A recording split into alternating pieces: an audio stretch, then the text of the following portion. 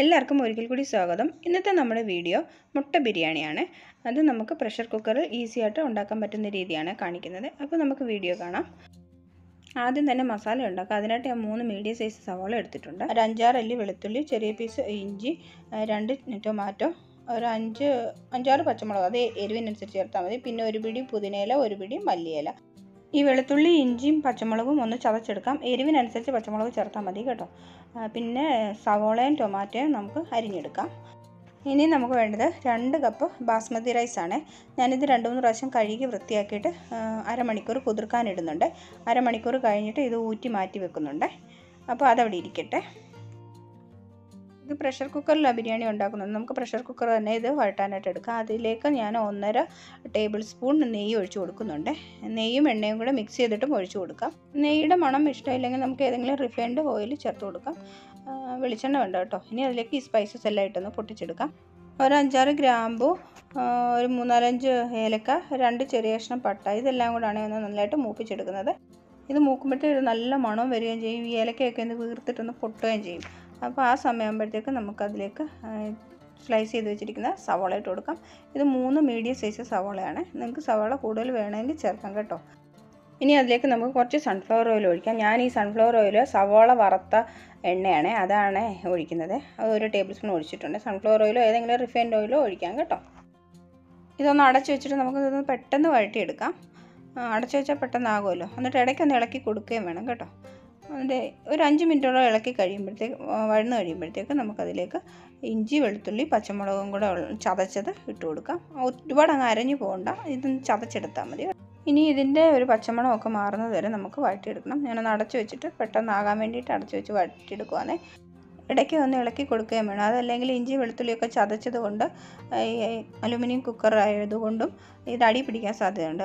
അപ്പോൾ അടി ചേർത്ത് നമ്മൾ ഇളക്കി കൊടുക്കണം. അല്ലെങ്കിൽ കരിഞ്ഞു പിടിക്കും കേട്ടോ. ഇഞ്ചി വെളുത്തുള്ളി പച്ചമുളകൊക്കെ നല്ലതായിട്ട് വഴന്നിട്ടുണ്ട്. ഇനി അതിലേക്ക് ഞാൻ അരിഞ്ഞു വെച്ചിരുന്നു ടൊമാറ്റോയും കൂടി ഇട്ട് എടുത്തിട്ട് ഒരു അഞ്ചെട്ട് മിനിറ്റ് നമ്മൾ ഇതൊന്ന് അടച്ചു വെച്ചിട്ട് ഒന്ന് നല്ലതായിട്ട് ഈ ടൊമാറ്റോ ഒക്കെ ഒന്ന് ഉടഞ്ഞു കിട്ടണം. അതുവരെ നമുക്കൊന്ന് അടച്ചു വെച്ച് എടുക്കുക ഇടയ്ക്ക് തുറന്നിട്ട് ഇളക്കി കൊടുക്കുകയും വേണം കേട്ടോ.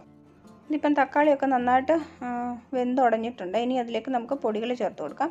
ഞാൻ രണ്ട് ടീസ്പൂൺ കാശ്മീരി ചില്ലി പൗഡർ ചേർക്കുന്നുണ്ട്. പിന്നെ ഒരു ടീസ്പൂൺ മല്ലിപ്പൊടിയാണ് ഇത്.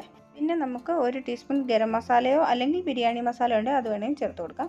ഒരു അര ടീസ്പൂൺ മഞ്ഞൾപ്പൊടി. ഇതെല്ലാം കൂടി ഇട്ടിട്ട് ഇതിന്റെ പച്ചമണമൊക്കെ നന്നായിട്ട് മാറി എണ്ണയൊക്കെ തെളിയുന്നത് വരെ നമുക്ക് നന്നായിട്ട് വഴട്ടിയെടുക്കണം ഇനി ഈ മസാലയ്ക്ക് ആവശ്യമുള്ള ഉപ്പും കൂടെ ചേർത്ത് കൊടുക്കാം.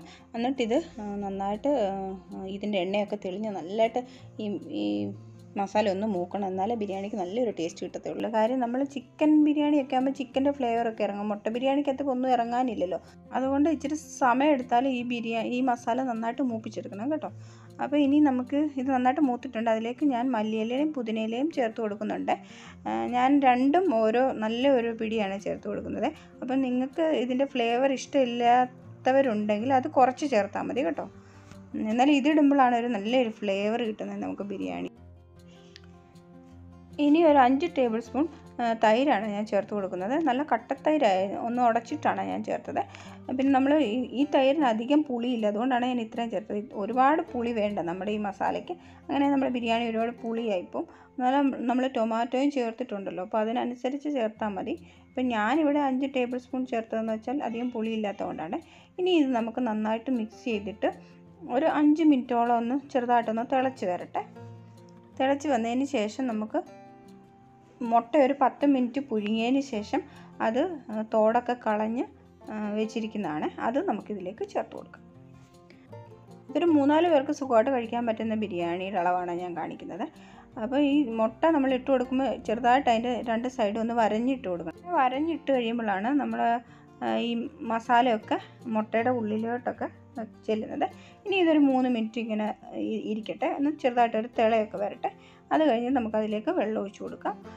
ഞാനിവിടെ രണ്ട് കപ്പ് റൈസിന് മൂന്ന് കപ്പ് വെള്ളമാണ് ചേർത്ത് കൊടുക്കുന്നത്. അതായത് ഒരു കപ്പിന് ഒന്നര കപ്പ് എന്നുള്ള അളവിൽ. നമ്മൾ കുറച്ച് തൈരും ചേർത്തിട്ടുണ്ടല്ലോ. അപ്പോൾ അതിനനുസരിച്ച് വേണം ചേർത്ത് കൊടുക്കാൻ വേണ്ടിയിട്ട്. വെള്ളം ചേർക്കുമ്പോൾ നല്ല തിളച്ച വെള്ളം തന്നെ ചേർത്ത് കൊടുക്കണം കേട്ടോ. വെള്ളം തിളപ്പിച്ച് തന്നെ ചേർക്കണം.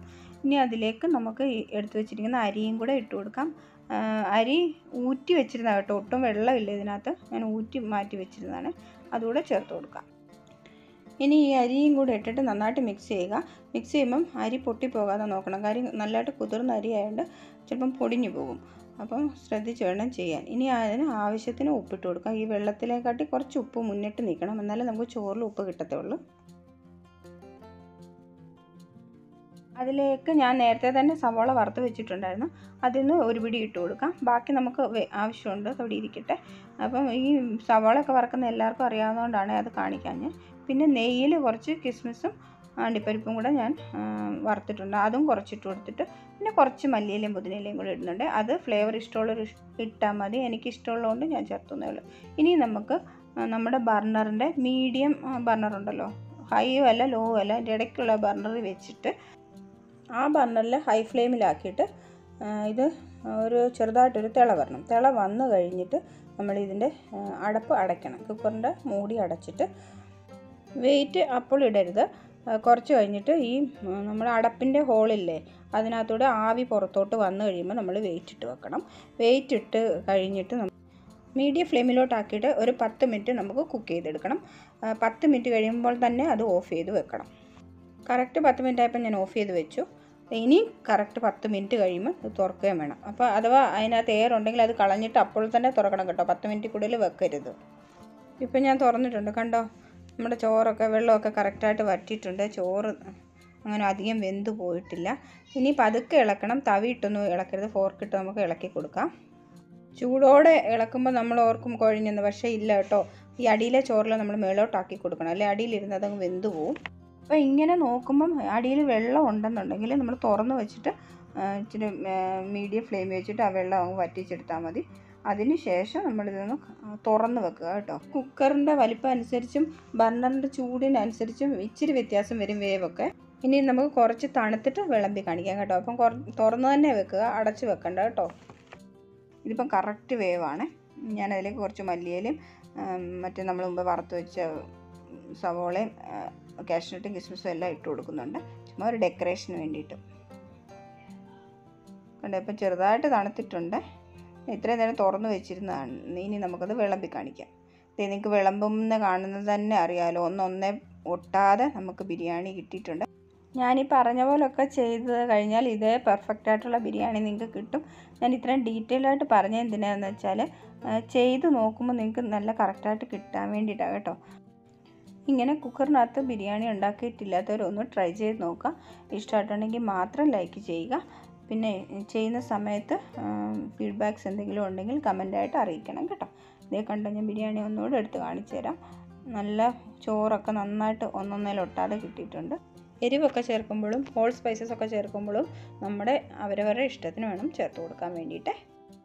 പിന്നെ ഇതുവരെ സബ്സ്ക്രൈബ് ചെയ്തിട്ടില്ലാത്തവർ താഴെ കാണുന്ന റെഡ് സബ്സ്ക്രൈബ് ബട്ടൺ ഒന്ന് പ്രസ് ചെയ്യുക. അപ്പോൾ തൊട്ടടുത്തൊരു കുഞ്ഞു ബെല്ലേക്കുണ്ട് അതുകൂടെ ഒന്ന് പ്രസ് ചെയ്യാനും മറക്കല്ലേ കേട്ടോ?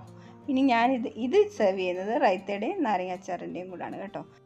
അടുത്തൊരു അടിപൊളി വീഡിയോ ആയിട്ട് നമുക്ക് വീണ്ടും കാണാം. Thank for watching